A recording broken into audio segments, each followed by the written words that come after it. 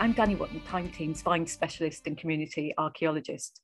Today I'm joined by Time Team's Henry Chapman, archaeological surveyor on over 100 Time Team episodes. He's Professor of Archaeology at the University of Birmingham and has recently been in the news regarding a collaborative research project between the University of Birmingham in the UK and the University of Ghent in Belgium. Now, this research project involved looking at the area around Stonehenge. They did a geophysical survey covering an area of two and a half square kilometres. And this survey revealed the presence of hundreds of prehistoric pits. And one in particular was four metres wide, two metres deep, and turned out to be Mesolithic, dating back 10,000 years. So join me as I find out more about this Mesolithic pit and the wider landscape around Stonehenge in more detail. So welcome, Henry. Hi, Dani. No, it's, it's good to be here. How you doing? I've not seen you for a while. No, I know it's it's funny, isn't it? You, it's thing with time team. It's so intense over over short days, and then then there's the gap, and you sort of the, the other life takes over. But but yeah, it's been busy. It sounds like you've been really busy. So tell us a bit more about this project. How did it start? I believe it's a collaborative project. Yeah, oh, so we've been working at Stonehenge for well over a decade now, uh, in various different projects. You know, probably one of the early ones was with um, an Austrian group, the Ludwig Boltzmann Institute for Archaeological uh, Prospection. But this most recent one, and the one which has been in the press, is a collaboration with the University of Ghent, and particularly Philippe De Smedt, um, we've been working in sort of a combination of geophysics, but also some uh, excavation as well, you know, sort of bringing things together. Okay. I think it might be worthwhile us doing a quick recap of um, the archaeological periods because we're going to be jumping about, aren't we? Um, yes. So we're talking prehistory, um, specifically the Stone Age, and the Stone Age breaks down into three sections. Um, so first we've got Paleolithic, um, so Paleolithic just means ancient stone, ancient Stone Age. Um, that is two and a half million years ago to about 9,600 BC. Then we get the Mesolithic, meaning Middle Stone Age. That dates from about 9,600 to 4,000 BC. And this is the one we're going to be mainly talking about, the Mesolithic. Following on from the Mesolithic, we get the Neolithic, 4,000 BC to 2,500 BC. And together, all these three periods are, known as the Stone Age. This is before they were using metal, they were using stone tools like axes, um, knapping flint to make arrowheads and things like that. Um, and then after the Stone Age, they, that you get the discovery of metal. People start making tools and things out of metal, jewelry, and all sorts. So, as I say, we're mainly looking at the Mesolithic period here, aren't we? The landscape then back in the Mesolithic would have been quite different, wouldn't it? It was attached to continental Europe. Um, there was that the, the bit of land called Doggerland now, which is underwater, um, but people would have been moving freely. Uh, it would have been quite wooded. We're talking about the time of hunter gatherers. People are nomadic, they're moving around, living in um, tents, um, possibly made of animal skin, hunting animals like auroch, red deer, and boar and uh, living off plants, nuts, and seeds, uh, and things like that. So, quite a different kind of landscape, wasn't it? I think this is one of the things. It's really hard to imagine anything which is wild. And to think about a wild landscape, and you know, to some extent, people are probably still managing their landscapes in certain ways, you know, to encourage animals in certain patterns. But yeah, you're talking about you're talking about that period. I mean, it's just after the last ice age. You know, it's it's the beginning of our current geological period. So it's a long time ago. It really is, isn't it? And you, uh, to put it into perspective, I mean, it's something like at least 4,000 years before the ancient Egyptians um, start building pyramids, isn't it? So, you know, it's just kind of such a long time ago. it's hard to imagine. yeah, um, I, I, suppose one of the other things for most of most of human history, the human past, we have been hunter gatherers.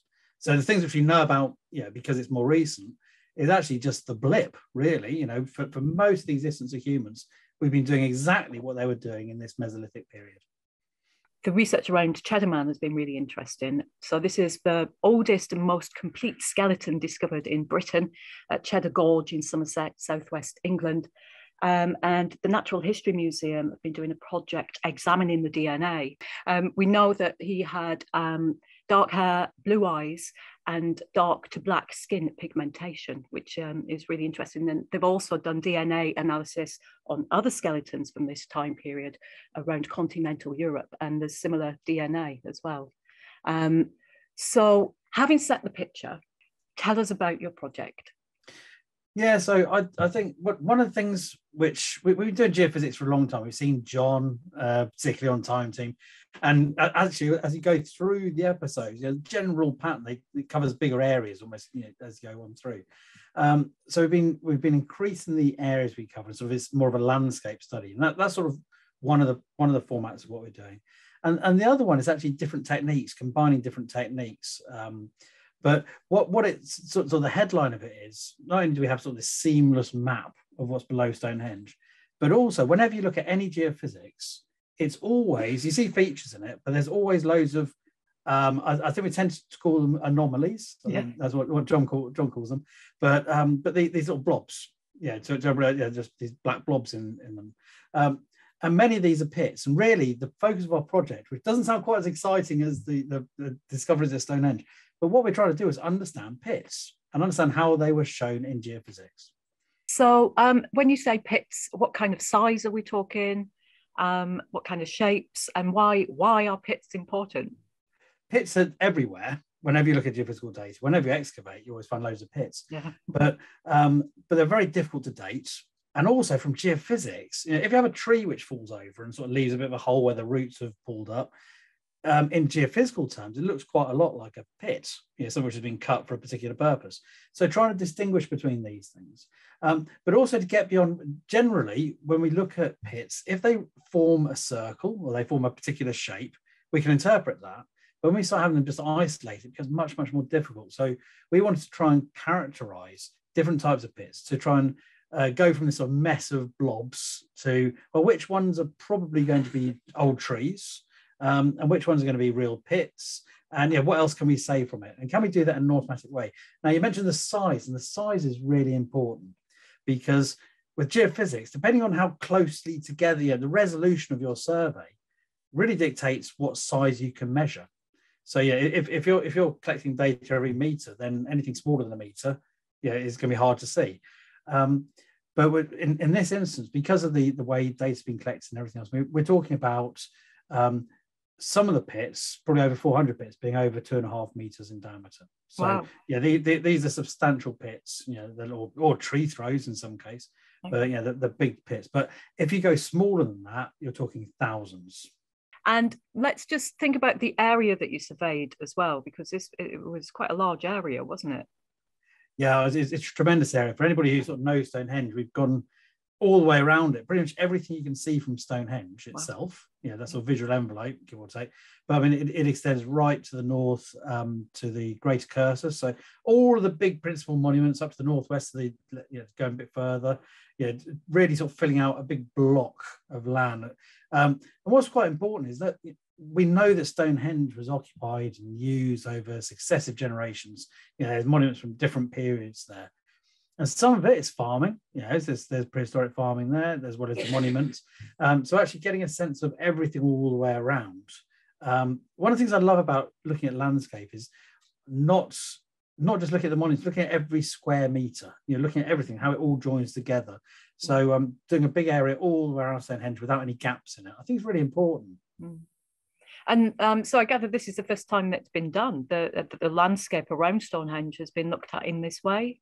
Well, it's it, with, with, this particular technique. So a, a, an earlier project, this one with the Ludwig Boltzmann Institute. Um, with that, we, it was the first time we sort of used motorized geophysics. But um, but that's where you had quad bikes and tractors pulling multiple arrays of geophysics rather than having sort of people walk around in grids like mm-hmm. quite often see on Time Team um, yeah, th- this was people sort of driving at 30 miles an hour across the landscape with high resolution. But so actually getting the complete picture, and again, lots of different techniques. But the difference with this this new survey, um, it's not as high resolution actually as some of the early one or, or that earlier one. Mm-hmm. But what's important is because it's using a, a particular technique called uh, electrical mag- uh, magnetic induction (EMI).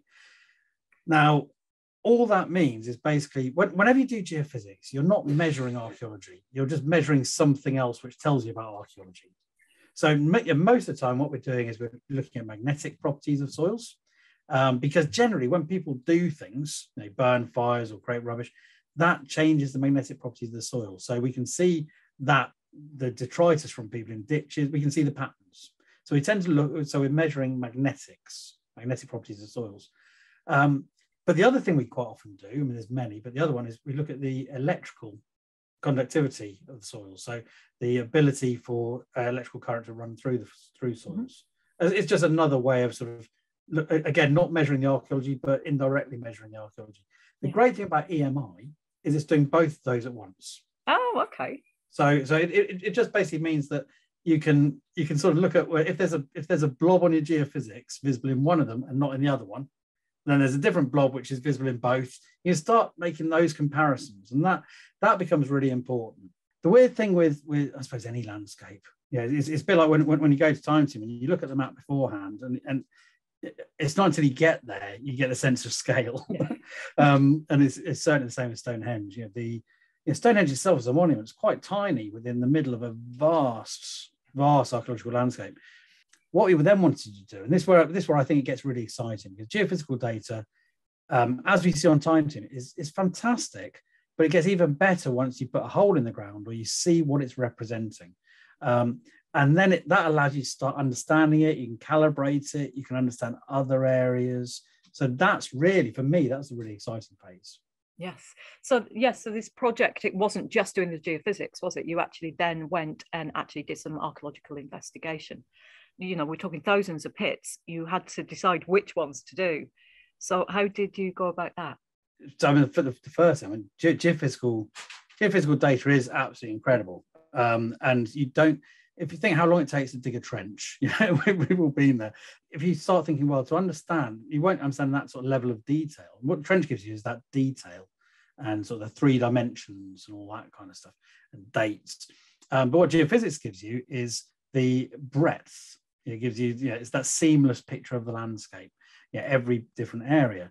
Um, the difficulty you have is geophysics is slightly dependent on geology and and other conditions, uh, and until you actually you, you, you, basically have an idea of what's there, and it's normally a pretty good idea, um, uh, but you don't know exactly. You don't necessarily know the date of something. You don't necessarily know what it means.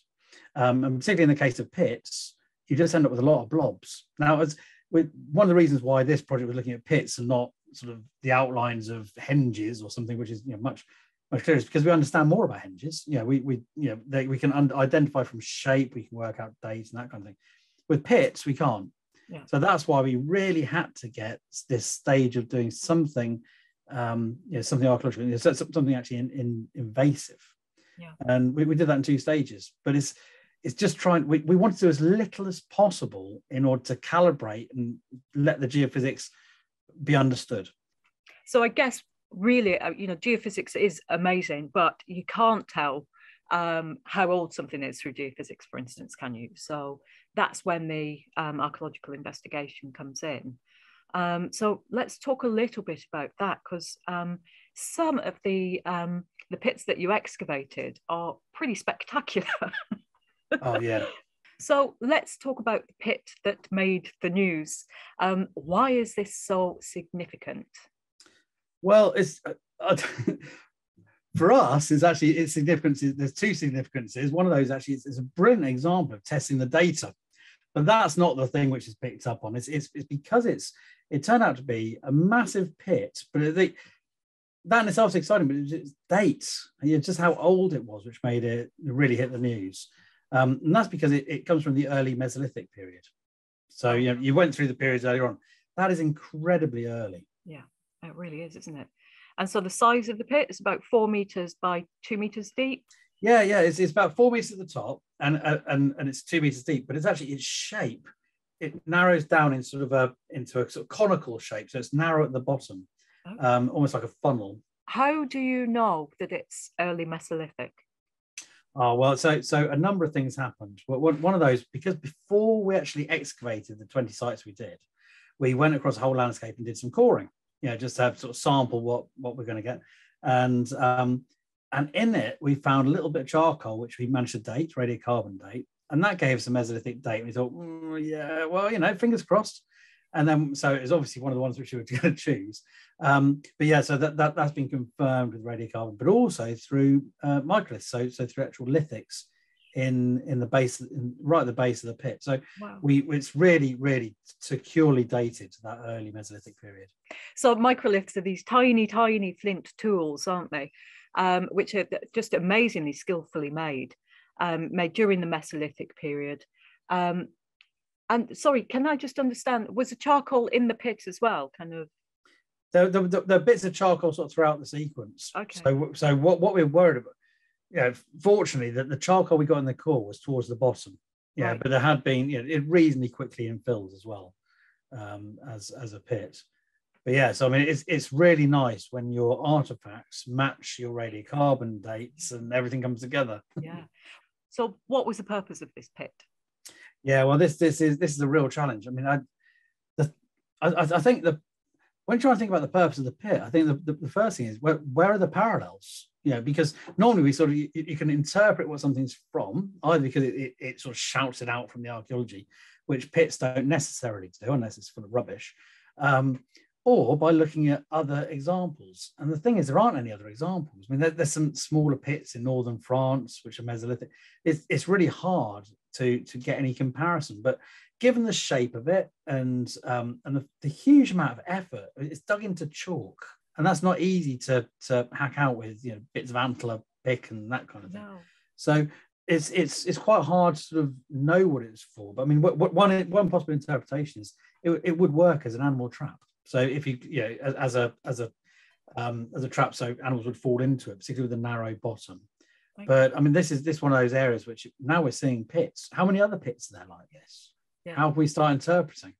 It's it's not until you now you've kind of raised it, people are, are going to start looking for it more in the archaeological landscape. People are yeah. going to be seeing it. It's almost like you know these potentially these pits have been hiding in plain sight, haven't they? Um, and wouldn't it be fantastic to actually find out more about the purpose? You know, maybe at some point in the future, um, you'll discover a, a, similar pit, but it'll have some auroch bones in it or something. Yeah, like a broken leg. um, so, is that the best guess then that it's probably for hunting animals or a kind of animal trap? Yeah, yeah, I, I think so. I mean, it is. It's really hard. I mean, one of the problems, you know, with, with as you look at sort of later periods, you sort of have, well, it must be somehow religious or, yeah. But the Mesolithic, we generally sort of think, you know, it's quite a pragmatic period in many ways. Um, and the although there, yeah, there's always bits, you know, there's always that mixture of, of different types of symbolic activity and so on. But to build a huge pit is not something we've really seen before. Mm-hmm. Um, and you know, even if it is for catching animals, it's still a huge amount of effort. But um, you know, we, we, know there's bits of burning going on around it. We know, you know, just because the fill, we know there's other activities. But um, but yeah, it's, it's, probably probably the best bet at the moment, best guess, um, until we come up with another one. Yeah. But that's the exciting thing about archaeology. I know it is, isn't it? it never stays still, does it? No. um, so do we know how long obviously it's been infilled this pit. Mm. um, was it deliberately infilled in one go or left open and then just filled up over time? Do we know that? It looks like it's sort of it's not being particularly deliberately filled particularly not higher up. It's yeah it has has filled in gradually over time. And i think one of the one of the really interesting factors and the reason i'm sort of on you know sort of pausing there is because i think yeah if, if if you knock down a house or if, if a house go in the middle of town, you know, stops being lived in, eventually the roof comes off. And for a good number of years, we all we all recognize it. You know, we, we, we see it and, and we see it as that dilapidated house as it's falling down. Um, and at some point it gets covered up or built into another. The, the reason I'm saying that is with a, with a pit, if you've got a pit, which is such an unusual thing for that period in the middle of the woodlands, it's a sort of thing which, if it's useful, you're going to maintain it yeah, we, we don't have the evidence for the sort of cleaning it out or anything, but it's but it's that sort of thing. Um, if it's useful, but once it stops being used, how long is it recognised? Yeah, when if you have communities, how many people are going through that landscape and seeing it? I think this is a it's quite a, an interesting idea for all of our archaeology. Yeah, so, so what? It, how long does that stay as a as something in the landscape? How long do people recognise what it was and what it was used for? And whether, like you say, it would have been kind of curated because you go, oh, that's a useful pit, you know, yes. we'll keep that. Yeah. Oh, I'll hold that. on to that. or you know, I mean, I wonder there's a, potentially other, you know, I don't I, actually. Have you heard of um, potato? Uh, obviously, they didn't have potatoes then, um, but potato clamps, which um, you know, in the you know, when you've got allotments, you actually uh, have a glut of potatoes. You dig um, a big pit in the earth, and you chuck all your potatoes in, cover yeah. them over, and they store really well. Um, so I'm wondering whether there could be some kind of equivalent sort of food storage pit or something, but it sounds quite big. I mean, four meters across, that's, yeah, no, that's probably too big for that, isn't it? It's one of those answers on a postcard, you know, it's, um, it really is. Yeah, it, it's, it's, but I mean, when, when you're going back that far in the past, when you're talking about 10,000, over 10,000 years ago, um, this pit, this pit was dug and used. And, you know, there's, that's a really long time. And I was trying to understand just, it, we think about function, but also think about the mindset of people at that time. How do they think? How how similar were they to us? They're biologically the same. Yeah. Um, yeah. Although you know the, the, the, some of the sort of DNA, as you said, some of the DNA research has been absolutely fascinating. Yeah. But um, the same sizes, same. You know, yeah, same absolutely. They were human, human humans, weren't they? You know, modern humans, but um, just must have seen um, and lived in the landscape in such a different way, then you know it's mm. quite difficult for us to imagine in a way. I think. Yeah. Just thinking about, I mean, the crazy thing is, we're talking, you know, a good couple of thousand years or so before Stonehenge. Yeah. Um, is there any connection, any crossover? Um, is it just a coincidence? Um, I mean, it's difficult to tell because it's quite, you know, we're looking at huge time scale. But I wonder if you have any thoughts on that. Yeah, I, I do, and, and you can't help but have thoughts on this sort of thing. I working at Stonehenge, I think, I mean, the, the first thing, I mean, it's the largest, you know, pit of that that period, you know, being discovered, and you think, well, yeah, typically that'd be found at Stonehenge. Yeah, of course it will, because everything, yeah, Stonehenge has, yeah, has this draw in terms of so many sort of unique and and new earliest those sorts of findings.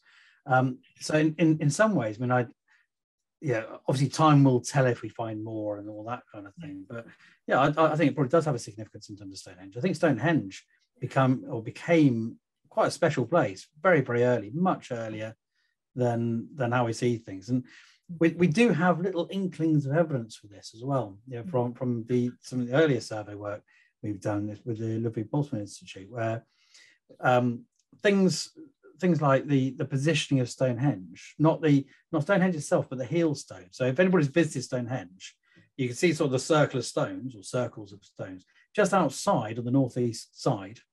There's um, there's another stone, and it's unusual. It's quite big, but it's also undressed. It hasn't been shaped. It's just been sort of shoved, yeah, as as it is. Um, that's the heel stone. Now that position um, lines up with with pits which are found, you know, far to the north, they're actually within the Cursus, the Great Cursus, and you know, the, the, very long enclosure, which is quite hard to see on the ground now.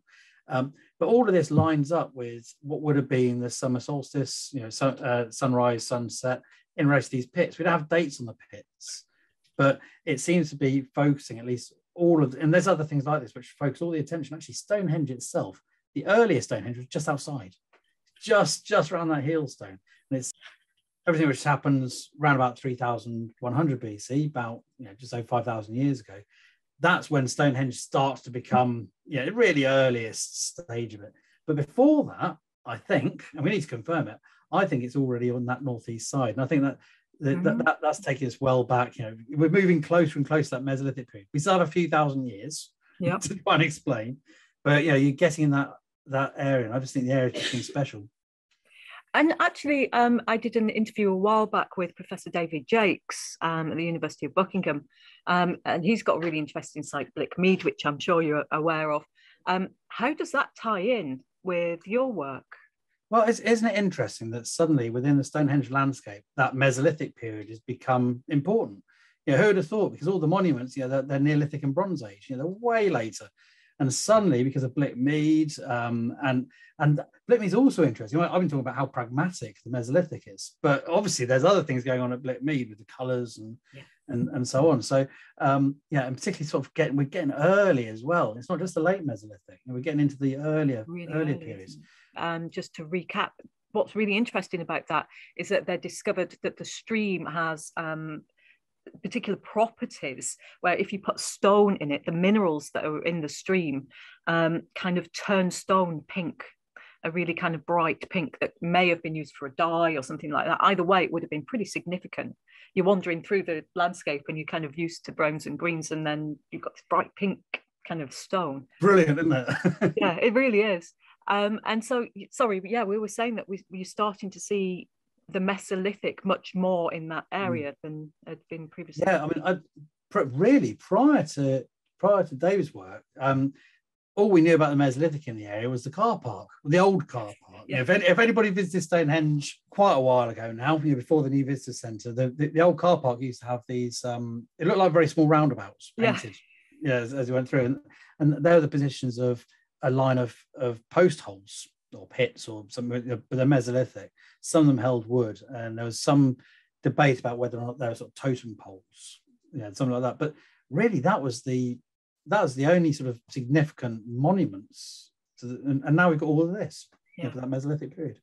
It's such an interesting time because you've got the early Mesolithic, um, but then going all the way through to that kind of cusp where you start to get the towards the end of the Mesolithic, that way of life, that hunter-gathering lifestyle, um, and the Neolithic, where people are starting to settle down and to farm and grow things. We're looking at agriculture. That's quite a big jump, isn't it? Quite a quite a change there going on, quite an interface, and it does make you wonder what was happening within that landscape there. The, so some of these changes, I think, uh, utterly fascinating. Not not just in terms of what happens, but how does that change how people think about their world? Yeah, at what point do and and it, is is this even a valid question? But yeah, as humans, as just animals within the environment, or humans separating themselves from nature, and is that a thing? Or, yeah, when does it happen? There's big debates to have to have there, and then in terms of what actually happens, you know, what, what we talk about agriculture, but what what do we mean? Mm. Yeah, what, what does it actually look like? You talk about sort of because in the yeah, are we thinking about controlling your environment, which you can do by a bit of burning vegetation and encouraging new growth to encourage animals to come, or you could do it by farming. Um, you know, it's it's not necessarily an abrupt thing, but there are certainly some really big abrupt changes that happen. Uh, exactly you know, what that means, but I think it's a mindset shift, and I don't, you know, the I mean, I, I, could go on, but I mean, it's, it's how it also impacts on population sizes and suddenly things like coercion and control and all the political things which we talk about um, yeah, that transition is utterly fascinating. It is, isn't it? And actually, what's going on at that time as well, kind of geographically, is um, you've got the rising sea levels. So Doggerland is flooding, um, and Britain's becoming an island. So I don't know whether is that a coincidence or, you know, is is that all sort of tied in with it somehow? I don't know. I don't know if anybody knows. No, it's. I mean, I, I think so more recent Mesolithic studies, you know, or, or, maybe sort of better to say early Mesolithic studies, yeah, you, you start looking at the patterns of things, and you know, you start seeing so much stuff on coasts where they are mm, now, yeah. and and and you realize actually that wasn't the coast then, yeah, and and you think, well, are we just looking at the very edge of where the great richness of society was? Um, and you do get pockets inland, and maybe Stonehenge is one of these sort of pockets of something different, but um, but yeah, it does make you wonder actually what what we're not seeing beneath the North Sea um, and and around you know the Liverpool Bay and so on and so forth, um, or elsewhere, yeah, Sundaland, yeah, the other, yeah, this isn't just happening in Britain. These areas of of sea, what are now seabed, were dry land, you know, connecting, um, yeah, the Bering Straits, for example. Yeah, so there's so many of these different areas. Um, yeah, and actually, what that means, I, I'm always fascinated by um, areas like Howick. So up in the north yeah. northeast coast of, of England, um, sort of on the coast, you, you, you've, you've got a Mesolithic house. And it's round about, it's a little bit later than the pit at Stonehenge. It's around about 7,500 BC. Um, and it's not on its own. There seems to be just hints, just hints of um, this, what we see later on in the, in the Neolithic in terms of people settling down but only for like 500 years. Then it keeps on going, it goes back again to this hunter gatherer lifestyle. What's going on there? Yeah, it's it's utterly fascinating. Yeah. yeah, what a great period. Yeah, it really is as well. And we should actually mention um, uh, another really famous Mesolithic site, Star Carr, mm. as well. Um, and that's really um, famous for all the uh, antlers that were discovered there. Um, I mean, that's fascinating. You know what what's happening there? oh yeah, well, it's, Star Carr. I mean, yeah, you're right. I mean, it is. It was. It was one of the first sort of sites we studied really, really um, carefully. It's close to my heart as well because it's a wetland site and it's it's that mixture of environmental archaeology. It's kind of one of the sites where that started in many ways. Um, but what's great is um, people like Nicky Milner have, have, taken that back up recently. They've re-excavated things, and and it, that's great in so many different ways because we can sort of measure how archaeology has developed. We can measure how things are preserved or not. Um, but also we can go back to these big questions. I mean, what what are those the, the antler headdresses all about? If they are headdresses, you know, we're talking about if anybody doesn't know them, they're, they're basically this is deer antlers, but with part of the skull attached. So I'm, I'm using my hands to try and explain that. I don't know if that helps but these things are perforated, so they could have been tied onto onto a headdress. So you know, and one of the things that these use in dance, these use in sort of ceremonies. You know, what are they for? Um, but what what it does do is it, it, takes away from thinking these people are just hunting things, fishing, you know, um, gathering. They but they're people. They have these societies. Yeah, they're, they're they're social animals. We are social animals.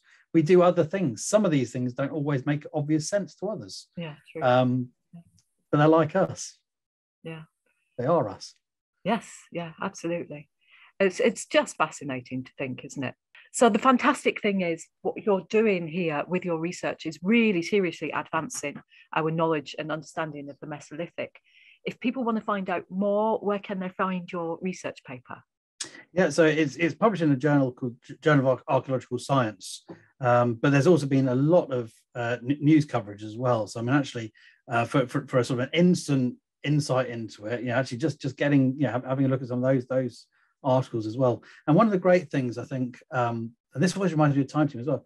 One of the great things about um, uh, or comparing what what newspapers say, comparing what we write in the academic article, is that um, when you start talking to journalists, they start asking you questions which actually matter. You know, whereas and and within the scientific paper, you don't always get onto those questions. So actually, if you get the chance to look at both, that's quite good fun too. Yes. Yeah, definitely. In fact, I liked the, the well, it's, it's, it's interesting because you've described the methodology and the techniques, uh, the geophysics, um, and how you went about doing the research. But I really particularly liked um, the section where um, the discussion about the pits mm-hmm. um, and you know what they might be. And actually, one thing that we've not mentioned is obviously we've focused on the Mesolithic with this uh, the discovery of this large pit. But what about some of the other ones that you excavated? Maybe we could just touch on that briefly. Yeah, I mean, one, one of the things we across the group of trenches, I mean, there, there were things which, um, yeah, there were some of them were tree throws, which is good because you know we, we're, we're measuring different sort of parameters. But there are also a lot of other pits, you know, things like um, early Neolithic pits, middle Neolithic pits, and some of those were quite spectacular. And, and there are, oh, there's there's Stonehenge is just brilliant. I'll just, I'll just start by saying that. but um, but some of these pits they seem to be built on um, sort of solution hollows, so sort of glacial, you know, just where you got sort of the, the ice melting and sort of creating hollows and all that. And it looks like some of these pits are, are taking advantage of things which are just naturally there. And I don't think that's laziness. I think that I think they are. I think they they have some significance. They're enhancing it. Um, but yeah, so many pits. Some of these really large pits. And I think what it shows is it just how busy the Stonehenge landscape was. Mm. Um, yeah, first the geophysics shows that, but when you start excavating these, yeah, every single period you're still you're covering you know, all of prehistory with different pits, different activities, um, particularly up to the Bronze Age. When I was studying, Stonehenge was sort of you had Stonehenge in the middle, you learned the sort of monuments around it, and that's what it was. Yeah. And what and, and now we have the ability to look in the bits in between with sort of this sort of resolution. What you find is there's loads of other stuff as well and some of that stuff's the same period as different phases at Stonehenge. It's not there are no blank spaces. Everything, yeah, it's a busy landscape, mm. um, and I think that's that's quite a transformation of how we think about that. Yeah, it really is, and um, a busy landscape for thousands of years. I, I suppose I mean, the, the, other thing which I always think is, is funny about Stonehenge is that you drive around there and everything's there. Is it's kind of almost like it's been frozen in time a little bit. But what you're looking at as, as you go across there, you're seeing, well, the final stage of once people stop moving stones around and all that Stonehenge, you've got the barrow, you've got the early Bronze Age material, and even you've got some of the field systems. If the light's right, you can see the field systems, mm. which are a bit later yeah. again. Um, and it's just such a mixture of periods. And it looks, because it's all grassed over, it all looks like just one thing. And I think if you know, if, if anybody's thinking about going to Stonehenge, I think one of the most profitable things you to do you can do. It's a bit like bit like doing a crossword puzzle. Puzzle. It's a bit like you know going out there and trying to work out what goes when and, the order, and then to, to try and imagine what would it be like without that, and why do they do that there? You know, th- those are the things which I think are absolutely magnificent about Stonehenge. And effectively, what we're doing with the geophysics is identifying other things to fill some of those gaps as well. Amazing stuff. And are you due to do any more research in the area? Um, we are planning to, um, although I mean, we, we, we, we, we, we're getting to that point of writing up and completing everything. And then, you know, so, but yeah, in, in a year or two, we're, we're definitely going to be back down there. Yeah. Fantastic. Well, will you keep us updated? Oh, yeah, absolutely. And, the, and the, one of the things which there's nothing quite like being in a trench um, you, you, know it's like you get a focus, you, you're digging away, and and it's when you stand up, you know, sort of stretch your back a bit, and you look up and you're facing Stonehenge. Yeah, and that is just such a is magical, but also really bizarre. Yeah, yeah, wow, wow. We're very lucky, aren't we, with um, oh, the work yeah. that we do? Yeah, it's great fun. It is. It is. Yeah. So Henry, thank you so much for um, joining me today. And that was really, really interesting discussion. Really great. To oh, it's a real pleasure, Dani. Cheers. All right. Well, catch up with you soon, hopefully, on the next. I hope so. Yep. See ya. Cheers. All right. Thanks, Henry.